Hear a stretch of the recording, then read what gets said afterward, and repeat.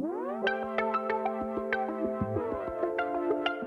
Não conhecia muito bem a marca PB Tails, eles entraram em contato apresentando seu novo modelo de controle, que na época estava com a campanha no Kickstarter. Resolvi aceitar para saber qual é a desse novo controle. O design parecia bem interessante e gosto de testar gamepads que fogem um pouco do padrão. Essa campanha do Kickstarter foi um sucesso e agora o Crush Controller é vendido diretamente lá no site oficial da PB Tails. Atualmente a versão básica custa 60 dólares, em conversão direta do real, pouco mais de 300 reais, e é uma versão toda em metal, o mais premium da marca, que custa 100 doletas. A versão que me enviaram foi a versão básica com construção em plástico e será esse modelo que iremos analisar nesse vídeo aqui.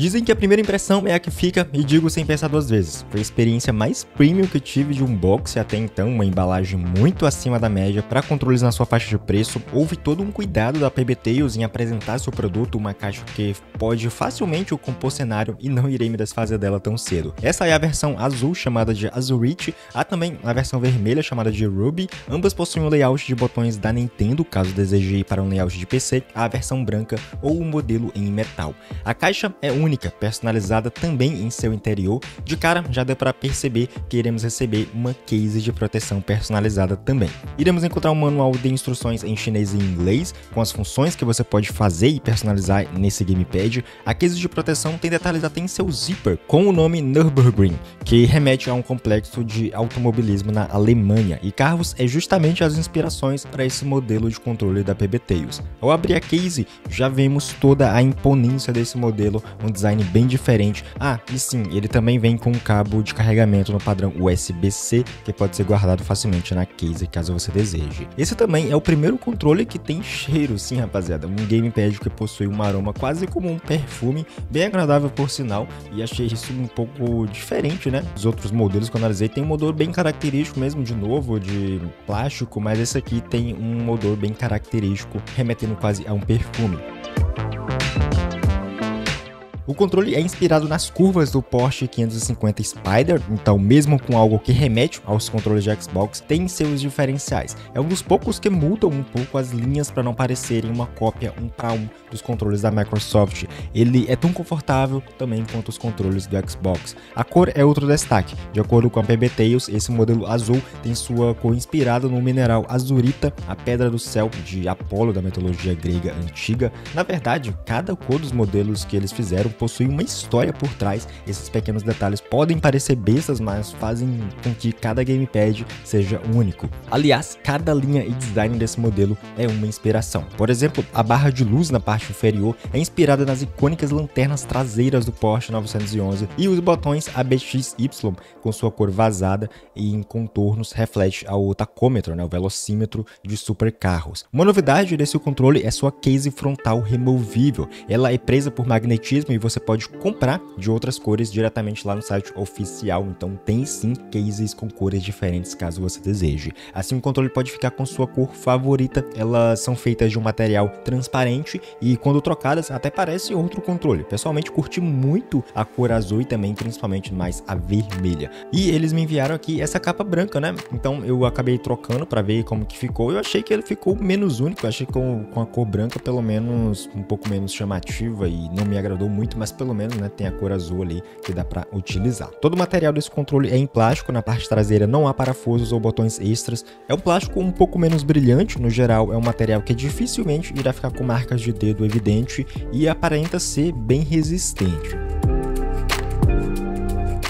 O Cruise Control vem em dois layouts de botões para Nintendo Switch e PC. A única diferença física será essa, uma vez que ambos podem ser usados no PC ou Switch sem problema nenhum. São botões em plástico, infelizmente não são mecânicos, ainda possuem um padrão por membrana, o que não é o pior dos cenários, possuem cliques rápidos e precisos, de acordo com a PBTails, eles possuem uma borracha condutora que oferece respostas rápidas, feedback forte e durabilidade acima da média, garantindo que suas ações no jogo sejam imediatas, perceptíveis e confiáveis ao longo do tempo.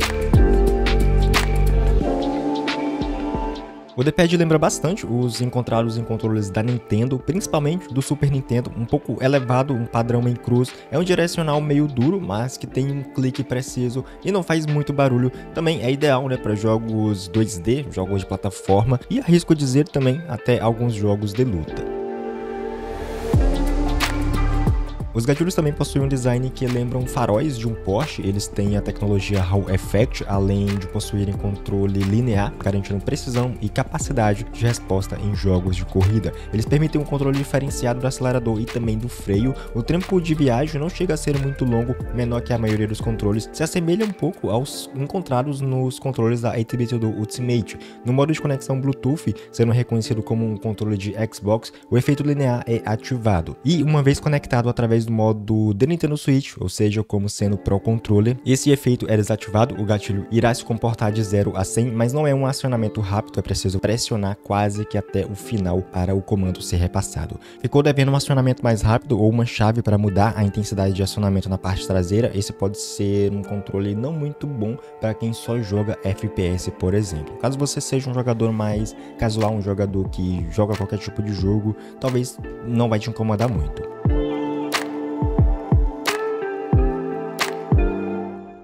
Os analógicos com tecnologia Hall Effect são cada vez mais comuns e não poderia faltar no Crush Controller. Ele está equipado com analógicos Hall, que são mais duráveis e dificilmente irão dar drift. Além disso, um extra é o reforço do joystick com um anel de metal que reduz significativamente o desgaste e prolonga a vida útil, além de manter a maior precisão por mais tempo. Quanto à qualidade de construção, eles são bem feitos. Encontrei uma rebarba de montagem, mas acredito que tenha sido por conta das amostras, né? Eu recebi esse controle muito antes do lançamento oficial. Além disso, eles possuem uma textura em plástico que é bem rígida, sem falar que ao redor do stick direito há um nome do controle, mas um pequeno detalhe aí que faz alguma diferença na personalização e deixa o controle bem único. Obtive média 0.2% de erro, mas há um adendo. Isso com a firmware de fábrica, a 1.18, uma vez que a atualizar o controle para a versão mais recente, com a firmware 1.26 ou até mesmo a 2.0, esse erro aumentou, passando para 10% em todos os modos de conexão. É um erro que até é aceitável, então vai muito aí dessa necessidade de precisão para jogadores casuais que só querem jogar, né, sem ter muita pretensão. Pode atualizar sem medo, 10%, 15%, não chega a incomodar muito, a não ser que você seja um jogador competitivo, aí talvez você possa se incomodar um pouco. É um analógico que possui uma leve zona morta, não tem como remover ou aumentar aumentar, a não ser que seja feito através de configurações próprias do jogo. A taxa de resposta vai ser no máximo 125 Hz na conexão Bluetooth de PC através do Nintendo Switch e também conexão ali Pro Controller, enquanto que a conexão via cabo iremos obter 500 Hz, além de ser mais rápida pelo cabo, também irá apresentar menos delay, já que a latência desse modo é de apenas 2 milissegundos, enquanto que a conexão via Bluetooth pode chegar até 9 milissegundos. Não houve muita diferença na versão de, da firmware utilizada, além disso, o controle, a versão em metal, possui um dongle para conexões via 2.4 GHz. Nossa, sei até que ponto esse dongle vai ajudar muito. Infelizmente, não tenho essa versão para fazer esse comparativo. Tenha em mente que esses resultados servem apenas como um guia para você comparar aí cada modo de conexão. Os valores reais podem ser um pouco diferentes quando a medição são feitas usando aí hardwares de medição adequada. É apenas teste sintético via software, que como eu sempre digo, pode ser não precisos. Mas dá um bom norte ali para saber se o controle é bom ou não. Esse controle vem equipado com uma bateria de lítio com capacidade de 860 mAh, que deve durar em média 10 horas de gameplay e com tempo de recarga entre 1 e 2 horas. Não sei se a PBTUS está contando também com as LEDs ligadas ou o nível de brilho, mas presumo que seja isso, já que por padrão o controle já vem com elas ligado quando você inicia ele pela primeira vez. Então podemos colocar um tempo relativamente maior do que 10 horas caso você jogue sem as LEDs ativadas. E por falar em LEDs, esse controle permite personalizá-las desde desligar completamente até mudar a cor para se ajustar à sua necessidade. Então são cores independentes, por exemplo, dá para mudar apenas as cores da parte inferior ou dos botões ABX e Y, além de mudar a intensidade de brilho. Isso tudo segurando aí o botão T e alternando entre os analógicos esquerdo ou direito. Dá para voltar também para o padrão ao segurar o botão T e apertar as setas do D-pad. E para quem gosta de ainda mais personalização, a parte da firmware 1.26 é possível mudar também alguns efeitos ao pressionar o botão T e o botão de print screen. Agora é possível também deixar em RGB e até mesmo colocar um modo onde ao pressionar o gatilho RT, a LED inferior irá se comportar igual, indo de 0 a 100 conforme a pressão colocada. É um detalhe que não tem muita necessidade de uso, mas convenhamos, é bem estiloso. E para quem curte LEDs, talvez seja um dos controles com personalização né, e capacidade bem mais acima da média para colocar muita personalização nessa parte do controle. Como havia dito, esse controle não possui nenhum botão extra na sua parte traseira e o único recurso extra fica por conta do botão turbo. Ao segurar o botão T e qualquer um dos demais botões de comando, o modo turbo irá para esse botão em específico, então ele vai ser ativado. E para você limpar as configurações, é só segurar o botão T e também o L3. E é um botão útil ali para quem gosta né, de ação rápida ou até mesmo para quem utiliza em jogos de luta.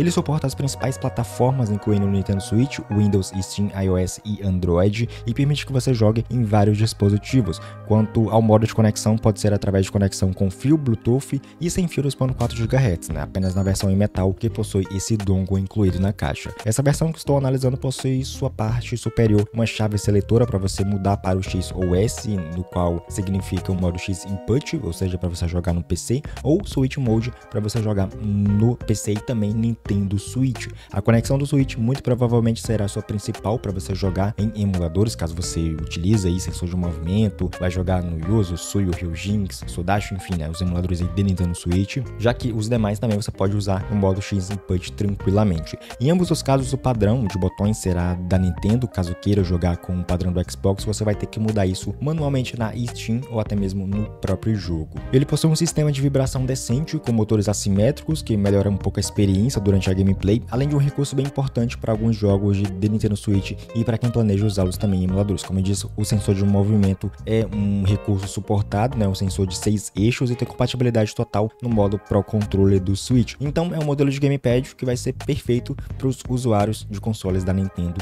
também, mais uma excelente alternativa frente ao Pro Controller já defasado da Nintendo. Caso deseje também, você pode atualizar a firmware do controle e ela vai servir basicamente para correções de problemas e também bugs. Para baixar os arquivos mais recentes, basta acessar o site oficial e verificar qual a última versão, fazer o download, depois desligue seu controle, abra o programa de atualização e antes de plugar o USB do controle no PC, segure o L3 e conecte o cabo USB aí ao seu PC. Fazendo isso, o botão de atualização será liberado e você pode realizar os procedimentos. E ao finalizar, o controle estará pronto para uso. Você pode instalar tanto novas versões também quanto voltar para versões de firmwares anteriores. E depois de atualizar a firmware, você pode realizar o procedimento de calibração dos joysticks. Esse método, infelizmente, não está descrito no manual, mas eu vou te ajudar aqui, né? Você primeiramente coloca o controle em uma superfície plana, aperte ao mesmo tempo o botão T e também o logotipo do controle, uma luz branca irá indicar que o modo de calibração está ativado. Depois é só girar ao mesmo tempo três vezes os analógicos esquerdo e direito.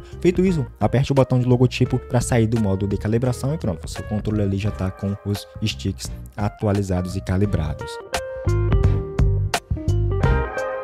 E para quem já acompanha aqui as reviews de gamepads do canal, sabe que eu gosto de gravar reviews de controles que fogem um pouco o padrão e o Crush Controller é um desses modelos diferentes que se enquadra em qualquer estilo de gameplay. Vai agradar principalmente quem procura uma experiência diferenciada de gameplay e também um controller com qualidade muito acima da média. A PB Tails acertou muito em colocar no mercado um gamepad diferente com design e ergonomia únicos. Ele poderia vir também com uma versão né, que possui botões extras ou até mesmo software para você personalizar atualizar as LEDs, mudar o layout dos botões através de, de software, né, atualizar a firmware, mas acredito que a proposta desse modelo aqui é ser simples e diferenciado. Quem procura um controle que possui todos os recursos essenciais para jogar qualquer jogo e com uma qualidade muito acima da média, fica aqui minha recomendação para vocês darem uma olhada aí no Crush Controller. E uma super dica para vocês também, antes de finalizar esse vídeo, vou deixar no link no nosso grupo de promoções no Telegram aí na descrição. Lá eu compartilho vários cupons e alertas de promoções para esses e outros produtos também, controles, é, hardwares, mouses, enfim, qualquer produto aí